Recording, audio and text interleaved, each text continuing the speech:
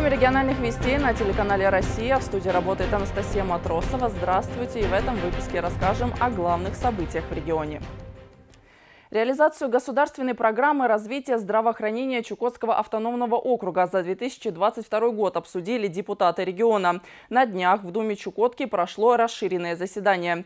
Собравшиеся заслушали доклад исполняющей обязанности начальника окружного департамента здравоохранения Туяны Банеевой, а также рассмотрели имеющиеся проблемы в отрасли. Все подробности в нашем сюжете. 4 миллиарда 400 миллионов рублей было выделено на государственную программу развития здравоохранения Чукотского автономного округа в 2022 году.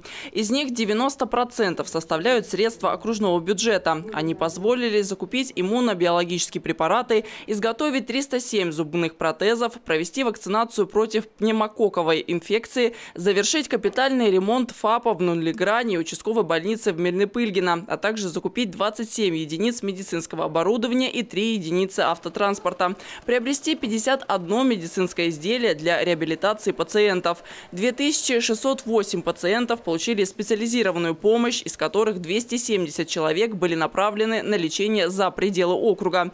Всего в минувшем году было выполнено 245 санитарных авиарейсов, на которых было вывезено 422 человека. Однако двух показателей достичь не удалось.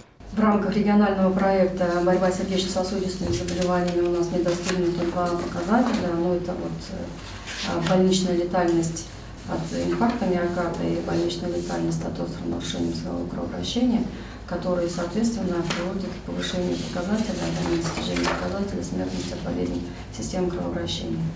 И недостигнутые показатели, ну, тут э, есть и объяснимые причины по детской, младенческой смертности, смертности детей в возрасте от 0 до 4 лет. Вопросу смертности детей в возрасте от 0 до 4 лет уделяется особое внимание. Показатель в регионе за прошлый год достиг 15 промилле или 8 человек. Из них три ребенка погибли от заболеваний, связанных с нарушением здоровья, остальные по социальным показателям. Также в центре внимания остается борьба с онкологическими и сердечно-сосудистыми заболеваниями. Для онкобольных закуплено специализированное медоборудование, а на базе окружной больницы открыто отделение по лечению сердечно-сосудистых заболеваний заболеваний. Особый акцент сделан на решении кадрового вопроса, но все упирается в жилищную проблему. Как только появляется специалист, мы тут же пишем главам муниципальных образований. Едем, просим а, обеспечить жильем. Ну вот и здесь у нас начинается э, как бы проблема. На сегодняшний день у нас, э, скажем так, ну, глобально, я думаю, еще с ремонтом общежития, завершением ремонта у нас все-таки э, в городе Анадыре значительно продвинется эта проблема, учитывая то, что на сегодняшний день у нас вот 15 э, студий и квартиры уже, и еще 7 квартир у нас в конце года мы выкупили сейчас э, вот, дальше финансирование ремонта и обустройства. Семь студий, да? ну, во всяком случае, приглашать, вот тех же приглашать узких специалистов. Участники заседания в окружной думе предложили увеличить финансовую поддержку для привлекаемых на Чукотку кадров. Например, как на Сахалине, до 3 миллионов рублей при условии, что специалисты отработают здесь не менее пяти лет.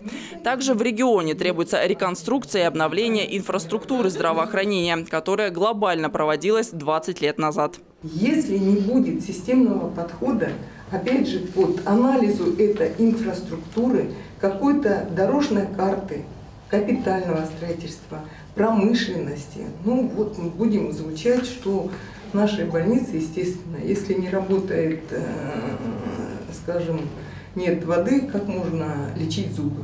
Депутаты также отметили необходимость изменения положения в программе по льготному зубопротезированию с учетом постоянной проводимой индексации пенсии и заработной платы пациентов, влияющей на льготы, положенные для проведения зубопротезирования. Кроме того, прозвучали предложения о необходимости пересмотра условий грантовой поддержки различным общественным организациям, проводящим профилактическую работу по борьбе с алкоголизацией населения.